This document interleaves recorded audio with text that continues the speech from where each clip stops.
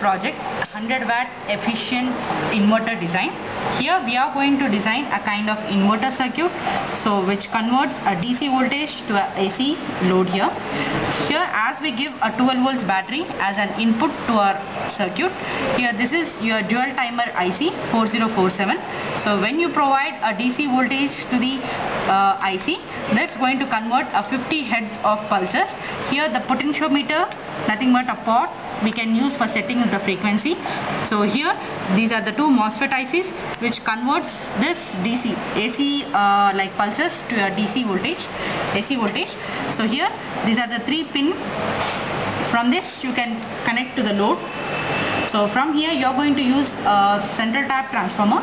So to the secondary of the center tap transformer, the output of the MOSFETs are being connected. And from here you are going to connect a load here which will generate a 5 amps. 5 amps of load can be tolerated and it can generate a 50 hertz of pulses 230 volts complete AC load can be controlled. So as I on the circuit you can see an AC load of 230 volts a 50 hertz pulses and a kind of till a 5 amps of load you can convert from a DC voltage to a AC appliance. Thank you.